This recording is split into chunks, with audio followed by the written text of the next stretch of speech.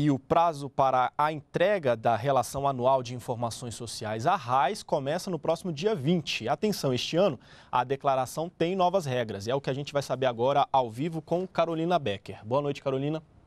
Boa noite, Adilei. As alterações para a entrega da RAIS foram definidas na última sexta-feira com uma portaria. Quem vai nos dar mais detalhes é Silvani Pereira, do Ministério do Trabalho e Emprego. Boa noite, secretário. Primeiro explica para a gente um pouco mais sobre a RAIS. Para que ela serve? Quem deve fazer essa declaração? É, boa noite. É, a RAIS é o censo do emprego formal no país tanto do setor público quanto do setor privado.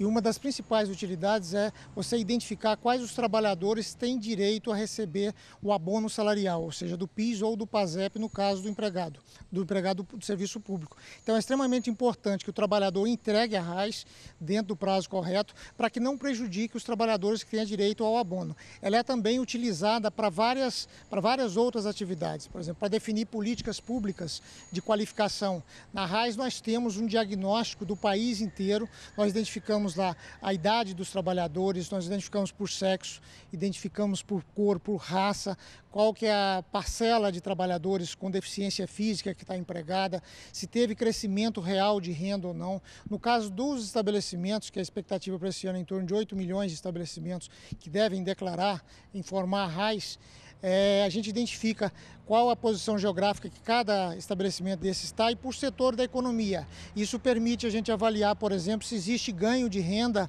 é, para a mulher em relação à remuneração do homem, se há, no caso do grau de instrução, se o emprego gerado foi com menor ou maior grau de instrução, as diferenças entre remuneração da cor branca para a cor parda ou negra, enfim, é um instrumento de trabalho, são registros administrativos extremamente importantes, utilizados pelas academias, por institutos de pesquisas e assim, o o que a gente pede é para que o trabalhador não deixe informar. Caso ele não informe, o empregado com certeza será prejudicado, principalmente no caso do recebimento do abono é, do PIS aí, ou do PASEP. Agora, sobre as alterações em relação ao ano passado, o que, que muda? Nós temos duas alterações importantes. A primeira delas é que a partir desse ano, empresas que tenham de 11 ou mais empregados terão que fazer a transferência de arquivos via certificação digital. Isso para que a gente aumente ainda mais o controle. Se for em atraso, qualquer empresa que estiver com a raiz atrasada, ela vai ter que fazer via certificação digital, independente do número de vínculos ou de empregos que ela tem.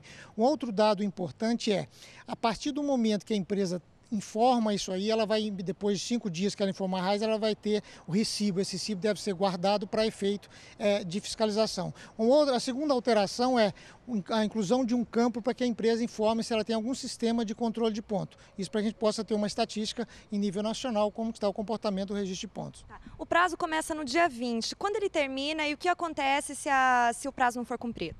O prazo vai até dia 21 de março e normalmente esse prazo não é prorrogável. Né? É, se não for entregue nesse período, ele terá uma multa que começa a partir de em torno de 500 reais e aí vai depender da quantidade de vínculos para que a gente defina o valor total da multa. Obrigada, secretário, pelas informações. Quem quiser mais detalhes sobre a relação anual de informações sociais, pode acessar o site www.rais.gov.br. Audilei. Obrigado, Carolina, pelas informações.